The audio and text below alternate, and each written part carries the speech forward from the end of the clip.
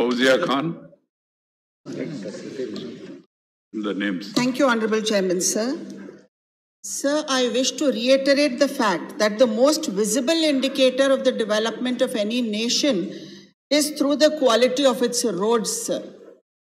The government bolsters the vision that road safety is made an integral part of road design at its planning stage.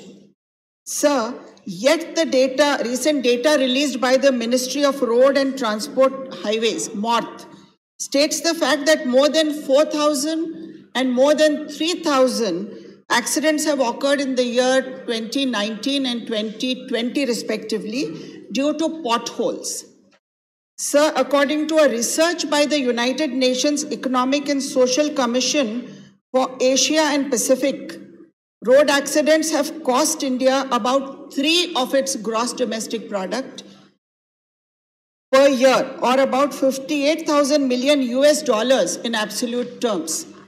Since pothole deaths con- constitute an integral part of these road accidents, there is a recurring need to strengthen the Motor Vehicles Act further to hold the contractors and the officials liable under the reasons for negligence, sir. Sir, despite the safety standards set, set up by the central government, and road contractors and engineers are still not held criminally answerable for causing deaths and injuries, which organizations like uh, Save the Life Foundation are demanding, sir. Especially when accidents occur because there are no proper signs or barricades that should be placed as caution, sir. MORTH specifications are not followed by the contractors. Visits are not made by the officials as per the rules. Bad quality construction results in bad quality roads, which results ultimately in accidents. Sir.